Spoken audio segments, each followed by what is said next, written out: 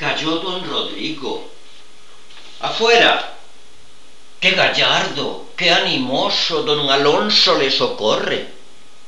Ya se apea don Alonso. Qué valientes cuchilladas hizo pedazos el toro. Entran los dos y don Alonso teniéndole. Aquí tengo yo caballo, que los vuestros van furiosos discurriendo por la plaza. Ánimo. Con vos le cobro. La caída ha sido grande.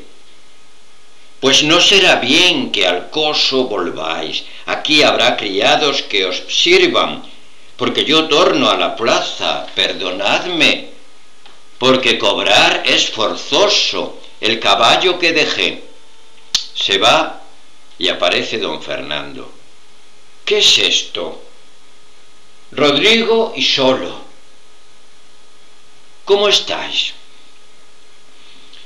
Mala caída, mal suceso, malo todo, pero más de ver la vida, a quien me tiene celoso y a quien la muerte deseo.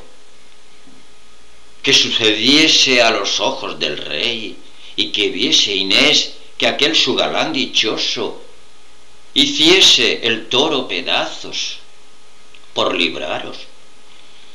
Estoy loco. No hay hombre tan desdichado, Fernando, de polo a polo. Qué de afrentas, qué de penas, qué de agravios, qué de enojos, qué de injurias, qué de celos, qué de agüeros, qué de asombros. Alcé los ojos a ver a Inés por ver si piadoso mostraba el semblante entonces que como un gran necio adoro.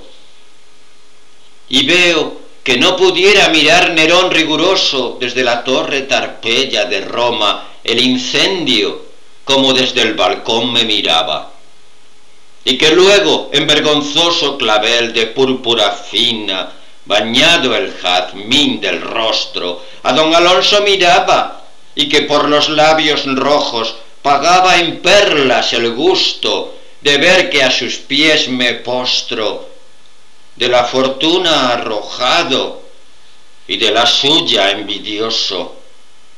Mas vive Dios que la risa primero que la de Apolo alegre el oriente y bañe el aire de átomos de oro, se le ha de trocar en llanto si hallo al hidalguillo loco entre Medina y Olmedo. Él sabrá ponerse en cobro. Mal conocéis a los celos. ¿Quién sabe que no son monstruos? Mas lo que ha de importar mucho no se ha de pensar tampoco